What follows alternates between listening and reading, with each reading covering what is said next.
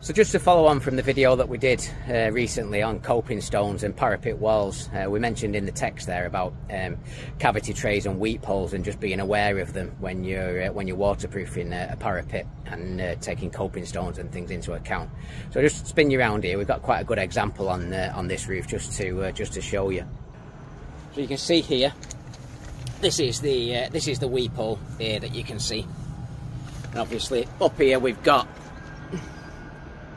coping stones um, on top of this parapet wall here. On the inside of here, you'll see, take you through the door.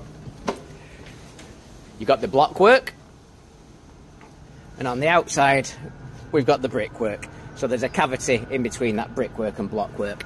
And then bridging that cavity up there is the coping stones, the concrete coping stones.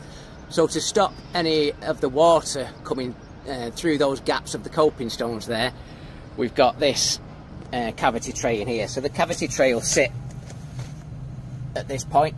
It'll go across and then it, it will go up on a, on a diagonal angle and then it will be it will be chased into the blockwork on the inside. So then any water that comes down from here will come down the cavity onto that cavity tray and out of the weep holes.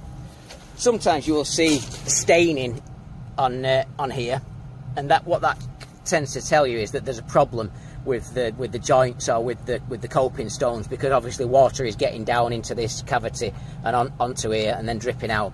Uh, in this case, there isn't there's no stain in here, so we've we've got to assume that that um, that um, parapet and the coping up there, which we haven't had access to, uh, the joints are okay. You can see some staining on the outside there, so water is falling off there and, and probably down the, down the outside of the brickwork. But you've got to say that the, the joints in this one are probably okay.